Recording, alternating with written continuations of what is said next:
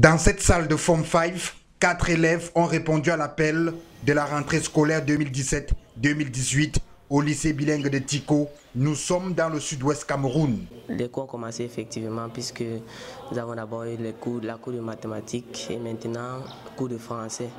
Et nous ne sommes que quatre, alors nous encourageons les autres élèves à venir à l'école. Chez le cadet de quatrième, quatre élèves sont en plein cours. Il est 9h à notre arrivée. Et à classe, on a reçu les élèves et maintenant on est en train de faire le cours de littérature. J'espère que euh, d'ici mercredi, on aura beaucoup d'étudiants. En terminale A4, cinq élèves ont été enregistrés. Le temps était consacré à la prise de contact avec l'enseignant de philosophie. Et je pense que d'ici à demain, nous aurons plus que ça. Puisque c'est eux qui vont aller informer les autres que l'école a effectivement comment, commencé.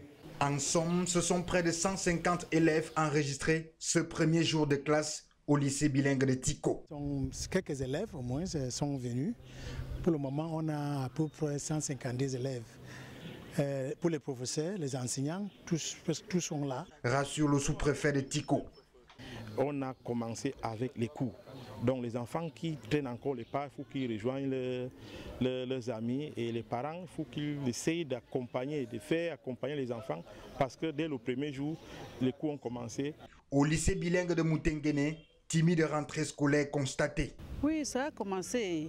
Effectivement, on a eu des élèves, euh, on a eu quand même des élèves peut-être 22 euh, qui sont venus. Il y a les professeurs qui sont venus à 84%. À ce rythme, les salles de classe seront pleines à craquer à partir de ce mardi.